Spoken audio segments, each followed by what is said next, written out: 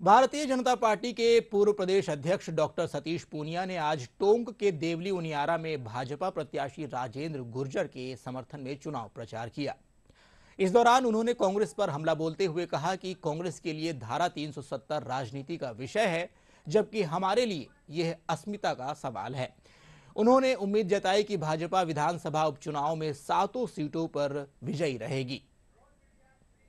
चरित्र को समझिए कि जनसंघ से लेकर भारतीय जनता पार्टी तक और देश की राजनीति में कुछ प्रमुख मुद्दे थे। राम मंदिर का मसला था, जिसके बारे में यही कांग्रेसी लोग हमें उलाने देते थे कि बीजेपी के लोग तारीख नहीं बताएँगे। हमने तारीख भी बताई और मंदिर बनाकर भी बताया। एक पत्ता नहीं हिला। लोग कहते थे, देश में गृह युद्ध होगा। सभी पंथ और बिरादरियों ने राम मंदिर के बनने के निर्णय का स्वागत किया। इस देश में सुख शांति की स्थापना हुई।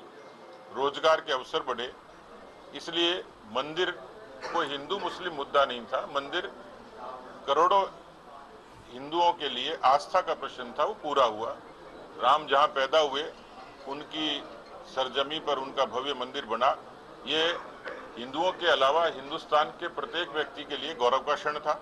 आज लाल चौक पर, दिवाली पर तिरंगे की रोशनी होती है और 15 अगस्त को तिरंगा फहराया जाता है तो 370 के खात्मे के कारण।